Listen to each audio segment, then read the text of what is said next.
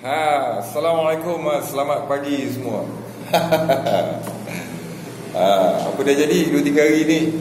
4 hari lah, 4 hari. Ha? Follower aku pun 3 hari meningkat sampai 20 ribu lah. Ha, dahsyat.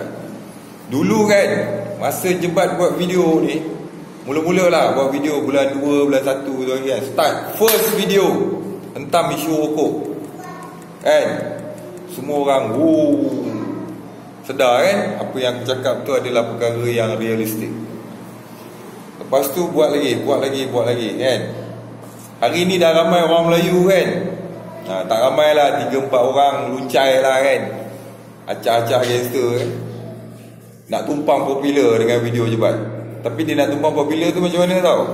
Dia nak tunjuk dia lebih pandai daripada jebat dia ke Padahal sebelum ni Suruh dia dia tegur AJK surau pun dia tak berani kalau suruh dia pergi mesyuarat PIBG lah Mesyuarat PIBG sekolah. Duduk kepit telur dalam PIBG Mana berani suara?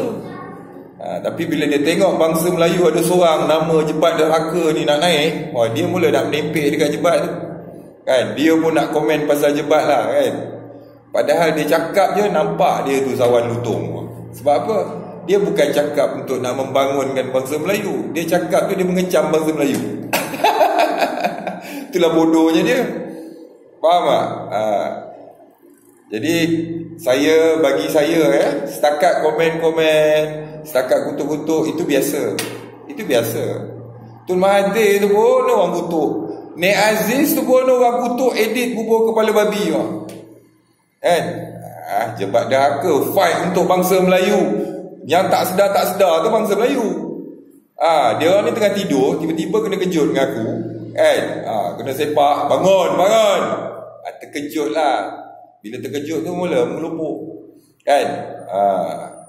Orang bakar rumah dia ha, Ni aku bagi contoh eh. Suruh korang fikir Baik-baik. Aku ni provokator. Ha, Daripada dulu pun aku dah cakap Aku kalau provok kan Satu Malaysia ni Boleh berlanggar sama-sama sendiri. Eh Orang bakar rumah Dia nampak ni Dia duduk dalam rumah Dia nampak ni Aku tengah bakar Keliling rumah dia. Dia tengok aku tingkap Dia nampak kan? Lepas tu dia bangun Dia cakap pinggang aku. Kan? Eh hey, Puki mak. Ha? Afsan kau bakar rumah aku. Tapi dia cakap pinggang dalam rumah ni. Kan? Bukannya dia nak keluar ke Lari keluar ke Pergi panggil bomba ke Untuk selamatkan keadaan ke Tengok macam mana nak menyelamatkan keadaan ke. Tak. Dia duduk tunjuk gangster ke dalam rumah dia Sudahnya sampai rentung terbakar dalam rumah tu sampai tinggal labu pun dia tak keluar-keluar lagi. Ha, itu yang pagi ni aku buat statement aku kata apa? Melayu tu bangsa yang tidur. Oh, tidur je. Lepas tu dia bangun, dia tidur kan? Dia bangun tu. Ah ha, lepas tu dia cakap, "Hidup Melayu, hidup Melayu, hidup Melayu." Dia baring balik dia tarik selimut tidur. Kan? Ha, lepas tu kan tidur, dia bangun lagi kan, dia tengok tengok tengok. Oh, hidup Melayu, hidup Melayu, hidup Melayu. Dia pergi jamban berak, kencing, makan, masuk bilik, tidur balik.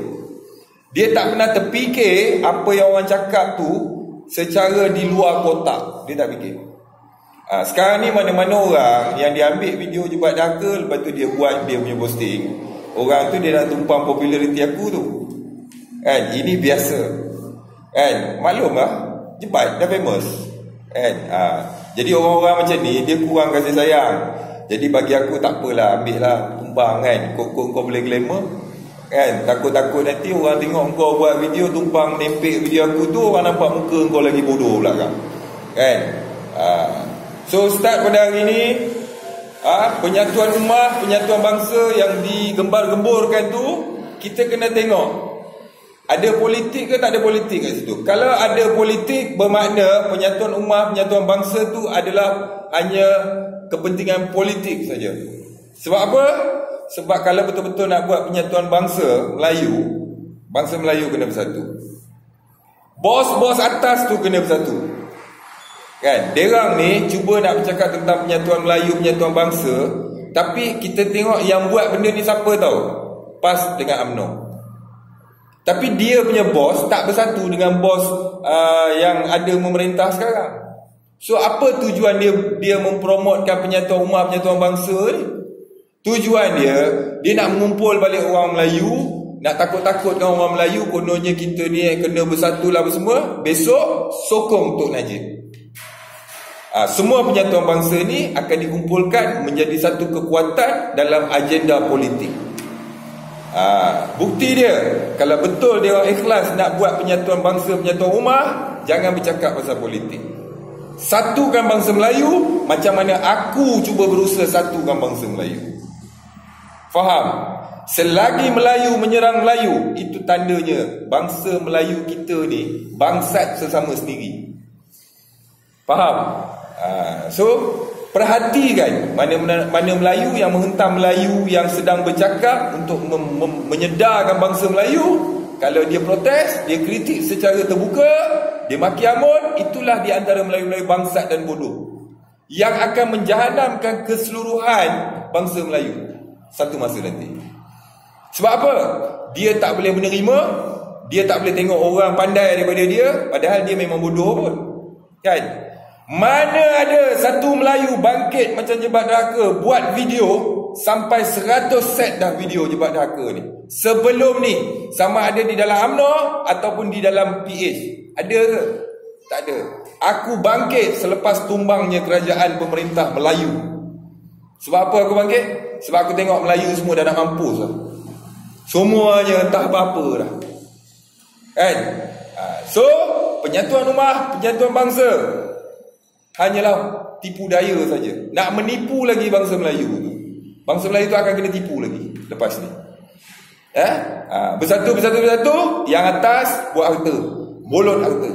Yang kita orang Melayu ni tak habis-habis dengan alasan apa? Alah dia buat tak apa, apa salah kita buat? Kalau fikir macam ni, negara semua hancur. Sebab apa? Dia dengki. Sifat dengki tu tinggi, jadi dia nak buat tindakan balas-membalas. Tapi dia balas-membalas tu, yang mati tu adalah rakyat bawah. Rakyat marhen ni yang akan jadi mangsa. Dia gunakan emosi-emosi rakyat-rakyat bawah yang biasa ni provoke, bakar semangat sebab dia tahu apa? Orang Melayu kurang berfikir. Jadi mereka banyak menggunakan emosi, semangat. Bakar semangat, bakar emosi, tiang bendera semua dia orang boleh panjat. Bayar RM30. Kan? Tapi kalau tak masuk, tak bayar, tak bakar semangat, Nabi kena hina pun. Satu ekor Melayu pun tak bagi. Tidur semua. Eh? Fikir-fikir kan? Eh? Agong kena hina. Tidur. Melayu tidur. Mana? Mana kau orang punya strike? Bantahan. Tunjuk. Mana? Ah. Fikir, fikir. Jangan duk sorak-sorak. Bila ada satu isu tengah popular panas, oh dia pun nak menyelit tumpang glamour. Itu kurang kasih sayang nama dia. Kan? Nak tumpang dekat jebat nak tumpang dekat jebat ha, eh? Tak kenal jebat derhaka siapa tak tahu jebat derhaka siapa kecam jebat derhaka kecam bagus lah. 3 hari follower increase 20 ribu. Kecam lagi. Ha, cukup satu tahun aku pegang belah rakyat Malaysia ni lebih daripada satu juta kalau duduk sebagai follower jebat derhaka kerajaan jaga-jaga sikit sebab apa? Mana-mana yang tak betul, kami akan tegur. Mana-mana tak betul, suara kami besar. Sebab follower aku makin hari makin meningkat. Kecam lah lagi. Aku galakkan kecaman tu. Jangan diam. Sebab apa? Bila tak kecam, jebat deraka ni dia tak tak famous. Aku memang famous disebabkan kecaman. Faham? Tun Mahathir hari-hari kena kecam. Ada dia kisah. Perdana Menteri juga dia sudah ya. Syed Saddiq hari-hari kena kecam Ada dia kisah. Orang tu pencen menteri Awak yang kecam tu makan roti canai tu tarik setiap hari ke kedai mamak Faham? Ha, ini dunia nak menyedarkan kesilapan yang dah berlumut Dah berakar dekat dalam jiwa-jiwa bangsa Melayu kita. Untuk nak sedarkan dia tu bukan senang. Itu aku tahu. Eh? Jadi kita nak kena terjah dia kuat-kuat sikit. Bagi dia bangkit. Kalau tidak negara ni hancur lah Bangsa kita akan hilang segala-galanya. Sebab apa? Bukan sebab orang ampas kuasa, sebab bodoh sendiri. Ya? Ha, okey, sekian. Wassalam.